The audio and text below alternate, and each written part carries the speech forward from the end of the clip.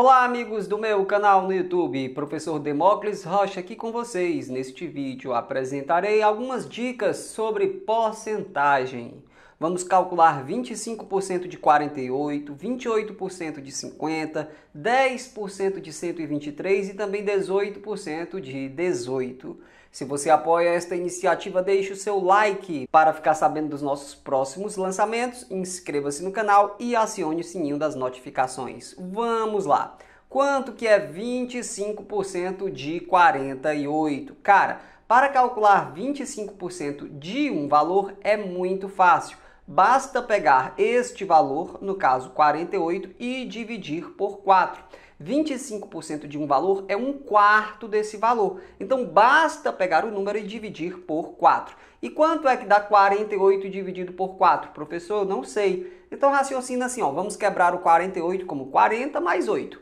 40 dividido por 4 é 10, 8 dividido por 4 é 2, 10 mais 2, 12. Nossa, professor, como é fácil, professor. Quer dizer que 25% de 48 é igual a 12, porque é o mesmo que 48 dividido por 4. Exatamente. Sempre que você for calcular 25% de um valor, lembre-se que isso corresponde a um quarto desse valor.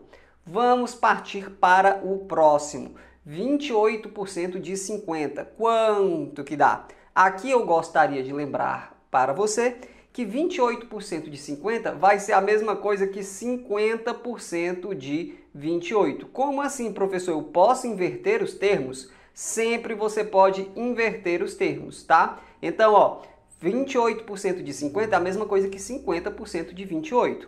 10% de 30 é a mesma coisa que 30% de 10. Você sempre pode utilizar essa ideia, ok? E quanto que é 50% de 28? Ah, professor, aí dá para fazer com cálculo mental. 50% de um valor é a metade daquele valor, professor. E quanto que é a metade de 28? A metade de 20 é 10, a metade de 8 é 4, 10 mais 4, 14. Então a resposta aqui é 14. 28% de 50 é a mesma coisa que 50% de 28 e o resultado é 14. Nossa, professor, que fácil! Que bom que você está gostando. Já deixe aquele like se você quiser ajudar o nosso canal, ok? Quanto que é 10% de 123? Vamos calcular. Calcular 10% de um valor também é muito fácil. Corresponde a pegar aquele valor, no caso 123, e dividir por quanto? Dividir por 10. 10% de um valor corresponde ao quociente daquele valor quando dividido por 10, ok? E dividir por 10 é muito fácil. Você imagina que a vírgula está aqui no final do número, já que você não está vendo a vírgula, você imagina que ela está bem aqui. Aí, como a divisão é por 10, o 10 tem um zero, você avança uma casa para a esquerda. Então, o resultado vai ser 12,3. Exatamente. A vírgula vai se posicionar entre o 2 e o 3. Então dá 12,3. Professor, e se o número já tiver vírgula? Você avança com a vírgula uma casa para a esquerda para dividir por 10, igual a gente fez aqui. Se ele não tiver vírgula, você imagina que a vírgula está no final e avança com ela uma casa para a esquerda. 10% de 123, portanto, é o mesmo que 12,3. Dá até para fazer com cálculo mental. Professor, e como é que você vai fazer? 18% de 18. Aí eu vou utilizar a nossa estratégia tradicional. E qual que é essa estratégia, professor? Para calcular 18% de 18, a gente pode fazer assim, ó, 18 vezes 18, eu pego esse produto e divido por 100, ok?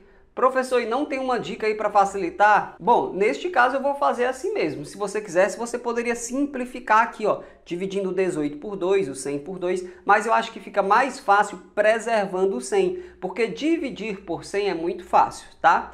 Professor, e quanto que é 18 vezes 18? Ah, 18 vezes 18 é 324. Professor, mas eu não sabia que era 324. Olha, eu sei porque a multiplicação de um número por ele mesmo é algo notável na matemática. Então, um valor que eu sei de cor, no caso que eu sei 18 vezes 18 é 324, eu sei que 19 vezes 19 é 361, eu sei que 20 vezes 20 é 400. Alguns valores a gente acaba memorizando, tá? De tanto usar. Mas se você precisar, é claro, você faz a continha no cantinho e anota o resultado. Beleza, professor? vou praticar bastante e vou saber de cor igual a você. Eu quero que você saiba é mais do que eu, ok? Então vamos lá, vamos dividir por 100.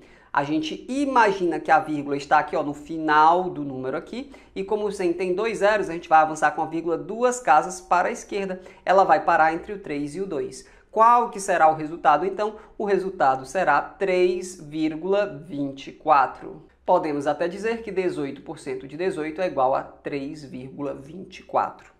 Professor, eu entendi tudo, professor. Então já deixe um comentário com uma carinha sorrindo, eu vou gostar de ver. Se você entendeu mesmo e quiser continuar praticando, eu sugiro que você calcule aí 25% de 412, 14% de 50, 10% de 35,3 e 15% de 12. Se você já aprendeu a calcular, você vai calcular com tranquilidade e você pode deixar um comentário com as suas respostas, eu vou gostar de ver. Como sempre, a gente fica por aqui. Um abraço e até a próxima. Tchau!